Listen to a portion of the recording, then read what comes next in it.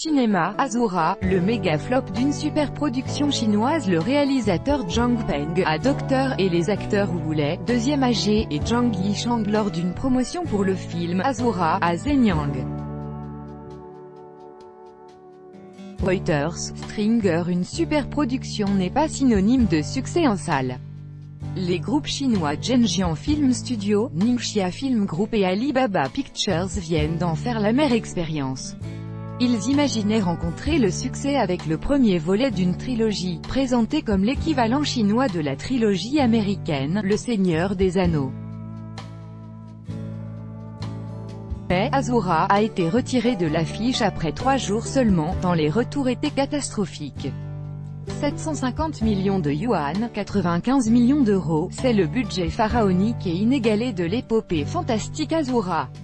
Sur le papier, le film a tout pour séduire un public friand de légendes, d'effets spéciaux et de stars. Le scénario s'inspire de la mythologie bouddhiste tibétaine.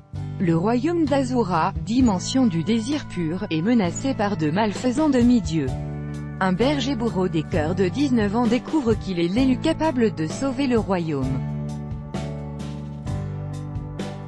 Les stars du cinéma asiatique La distribution aligne les stars du cinéma asiatique, Léo Wu, nouvelle coqueluche du 7e art chinois dans le rôle principal, accompagné de Tony Leung KFI et Min Dao.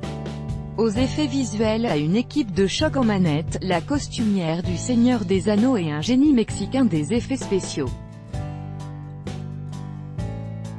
Azura peine à remplir les salles à l'arrivée, le film signé Pen Zhang, connu pour chorégraphier des cascades à Hollywood, déçoit totalement les critiques et le public.